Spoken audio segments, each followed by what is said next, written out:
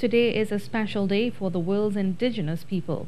It is a day set aside to promote and protect the rights of the world's indigenous population. We spoke with Chief of the First Peoples in Trinidad and Tobago, Ricardo Bharath-Hernandez.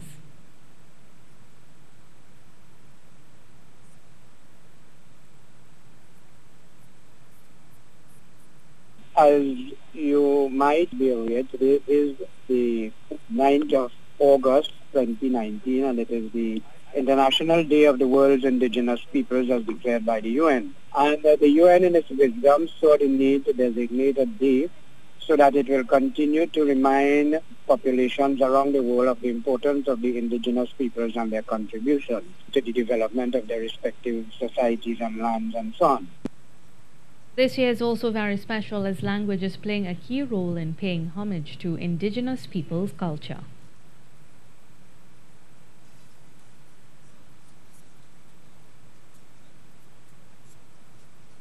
It is also the year of indigenous languages, so that um, with the declaration of the rights of indigenous peoples, the day seeks to promote and to preserve and to restore, you know, varying degrees, aspects of the indigenous cultures that are under threat in, in various localities. And I take this opportunity to extend to all peoples in Trinidad and Tobago of indigenous descent a good day and to ask them to become more aware their heritage and to get involved.